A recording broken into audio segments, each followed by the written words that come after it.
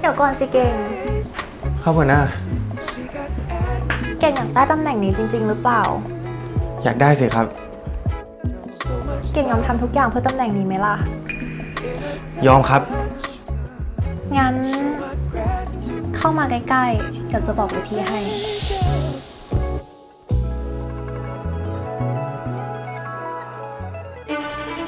ไผ่เธอโดนไล่ออก เพราะเธอฮั้วประมูลกับซัพพลายเออร์ กินเปอร์เซ็นต์ส่วนต่างของบริษัท ทั้งฉ้อโกงและไม่มีความรับผิดชอบแบบเนี้ยคงให้ทำงานที่นี่ไม่ได้แล้วล่ะ หนูทำงานดีและเก่งอย่างนี้นะตำแหน่งผู้จัดการมันไม่หนีไปไหนหรอก ไม่ต้องกังวลนะ งั้นไว้เย็นๆหยกมาทำงานพิเศษให้อีกรอบนะคะ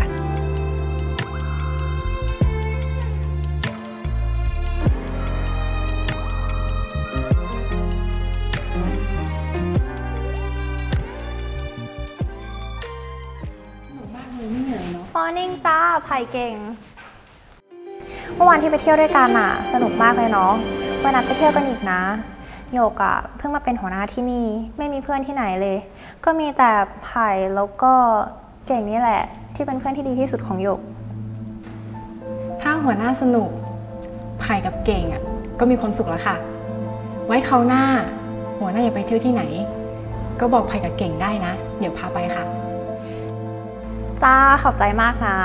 งั้นขอตัวไปหาผู้จัดการก่อนนะ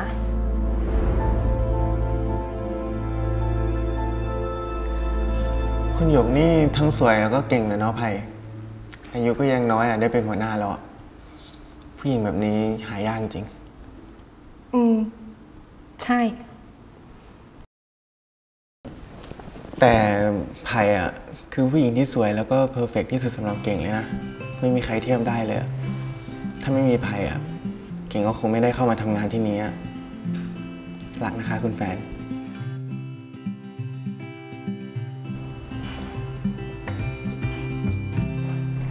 ไผ่เก่ง หยกมีข่าวดีมาบอก พอดีผู้จัดการเพิ่งบอกกับหยกว่า จะมีการปรับตำแหน่งหัวหน้างานคนใหม่ ซึ่งคนที่มีสิทธิ์ตามอายุงานและผลงานที่ผ่านมาก็คือไผ่กับเก่งนะ เพราะฉะนั้นทั้งสองคนจะต้องนำเสนอโปรเจกต์ใหม่ ใครที่สร้างผลกำไรได้มากกว่ากัน ก็เอาตำแหน่งนั้นไป ดีเลยค่ะไผ่มีไอเดียใหม่อยู่พอดี ดีดีแล้วเก่งล่ะ จะสู้ไหมหรือว่าจะยอมแพ้ให้แฟนตัวเองไปเลย แหมหัวหน้าก็มาแซวผมนะครับ ผมเองอะ ก็อยากเป็นหัวหน้าเหมือนกัน จะได้คู่ควรแล้วก็ดูแลผู้หญิงที่ผมรักได้เต็มที่มากกว่านี้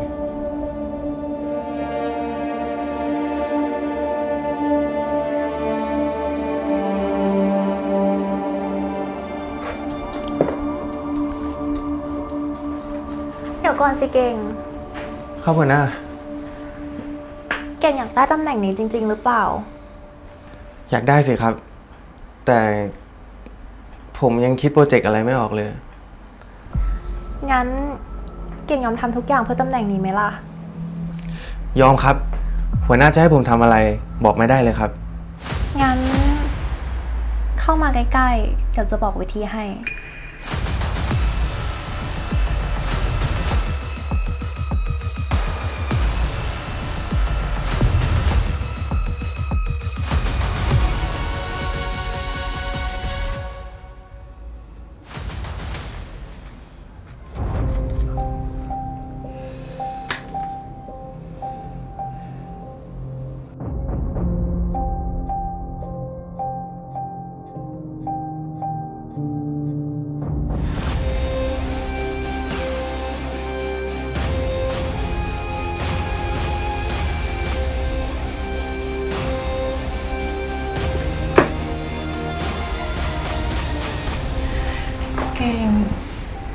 ว่า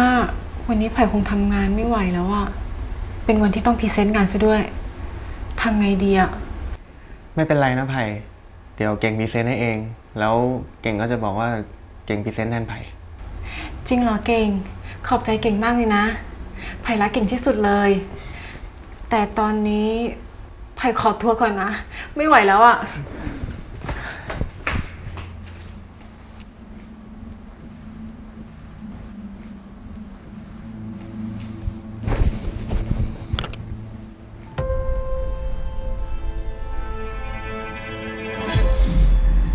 ตรโง่เลย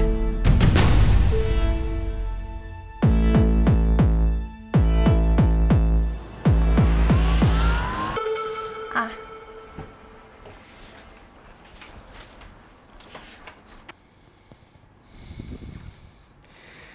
นี่ผมได้เลื่อนตำแหน่งจริงเหรอครับหัวหน้า แต่ทำไมไผ่ถึง ไผ่เธอโดนไล่ออก เพราะเธอฮั้วประมูลกับซัพพลายเออร์กินเปอร์เซ็นต์ส่วนต่างของบริษัท อีกอย่างวันพรีเซนต์งานเธอก็ไม่มา นี่ถ้าไม่ได้โปรเจกต์สินค้าแช่แข็งสูตรใหม่ของเก่งเนี่ย ฉันคงต้องอายท่านประธานแน่ๆ ทั้งฉ้อโกงและไม่มีความรับผิดชอบแบบเนี้ย คงให้ทำงานที่นี่ไม่ได้แล้วล่ะ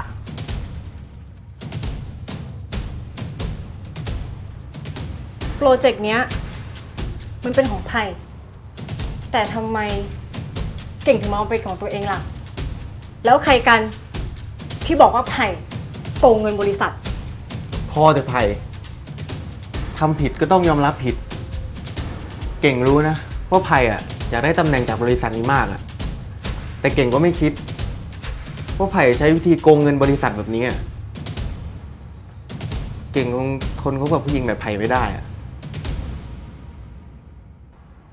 เราเลิกกันเถอะ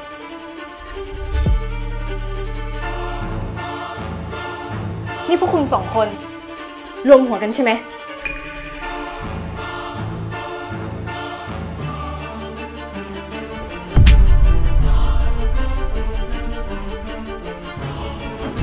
พูดไม่รู้เรื่องไงวะน่ารำคาญชิบหาย งั้นเราไปกินข้าวกับถาเก่ง อย่าไปสนใจเลย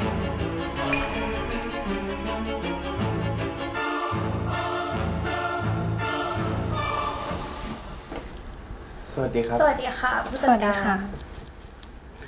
พอดีฉันต้องย้ายไปทำงานที่สาขาต่างประเทศ ซึ่งท่านประธานก็ให้ฉันเลือกผู้จัดการคนใหม่ขึ้นมาแทนฉัน ก็มีแค่คุณสองคนเนี่ยแหละค่ะ ที่มีคุณสมบัติครบถ้วน ไว้เดี๋ยวฉันจะพิจารณากับทีมผู้บริหารสูงสุดอีกที ระหว่างนี้ก็ขอให้ทั้งสองคนตั้งใจทำงานอย่างเต็มที่นะคะ ค่ะ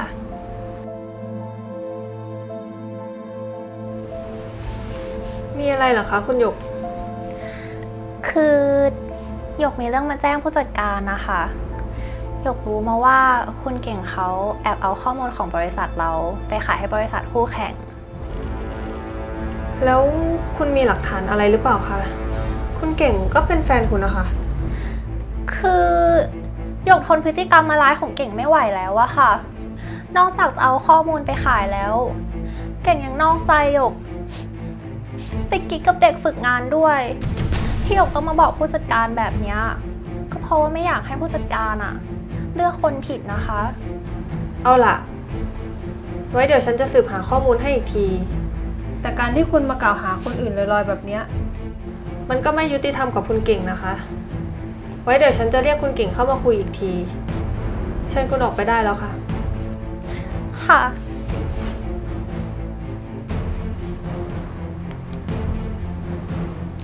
ตามคุณเก่งให้มาพบฉันหน่อย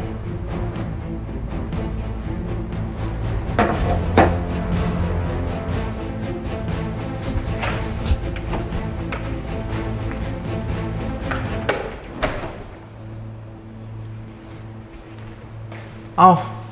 มาทำอะไรอะ อ๋อ เปล่า แค่มาคุยงานกับผู้จัดการเฉยๆอะ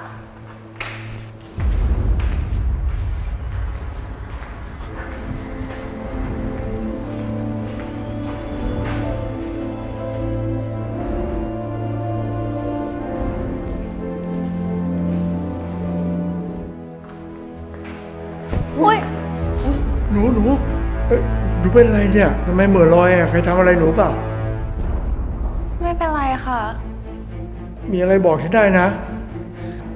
คือหนูบอกตรงนี้ไม่ได้อะค่ะเดี๋ยวขอไปบอกในห้องท่านประธานได้ไหมคะบอกในห้องฉันเหรอเออได้สิจ้าได้สิจ้ามามาโอ้นะไม่เป็นไรนะ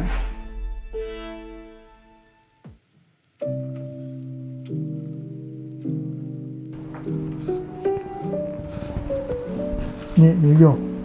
ค่ะ หนูทำงานดีและเก่งอย่างนี้นะตำแหน่งผู้จัดการมันไม่ดีไปไหนหรอก ไม่ต้องกังวลนะ ขอบคุณนะคะ ท่านประธานอืมแล้วท่านประธานจะทำยังไงกับคุณเก่งล่ะคะ เขาขายความลับให้บริษัทคู่แข่งเลยนะคะ อืมคนแบบนี้ผมก็คงไม่เอาไว้หรอก ต้องไล่เขาออกอยู่แล้ว นะไม่เป็นห่วง ได้ค่ะ ท่านประธาน ขอบคุณนะคะ ท่านประธาน งั้นเดี๋ยวขอตัวไปทำงานก่อนนะคะ ท่านประธาน ไว้เย็นๆหยกมาทำงานพิเศษให้อีกรอบนะคะรู้งานแบบนี้ยอดมากเลยนี่จะรอนะ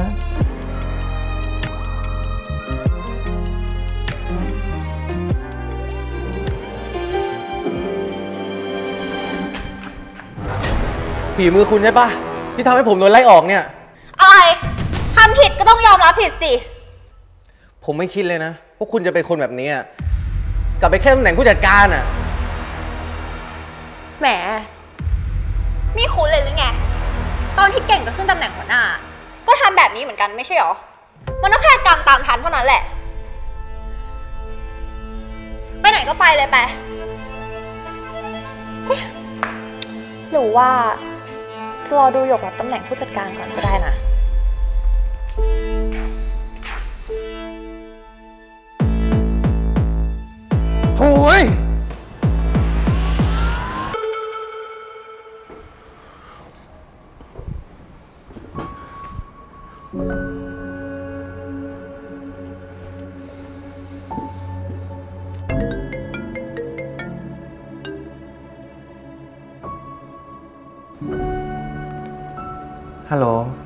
เหรอ นี่เก่งเองนะ ตอนนี้อะเก่งตาสว่างแล้วนะ เก่งอยากจะขอกลับไปเริ่มต้นใหม่กับไผ่ได้ไหมอะคงไม่ได้หรอกนะเก่ง ตอนเนี้ยไผ่เพิ่งได้งานใหม่ ไผ่คงช่วยอะไรเก่งไม่ได้ แค่นี้นะ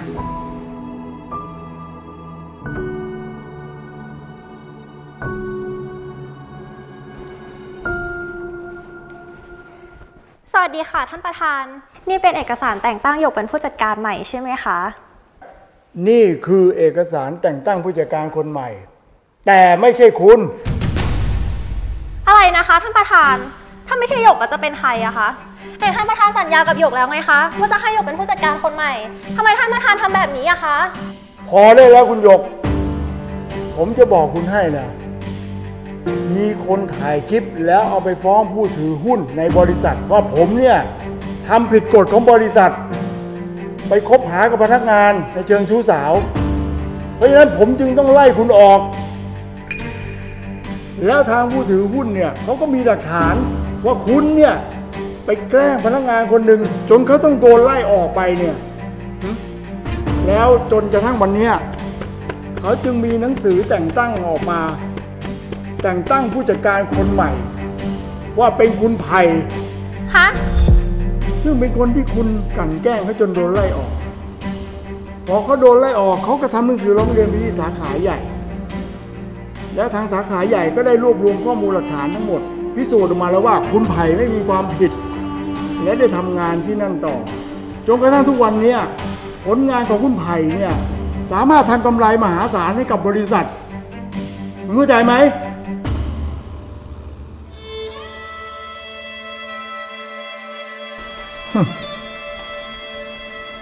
อย่าคิดนะ ว่าสมัยเนี้ย จะแกล้งกันได้ง่าย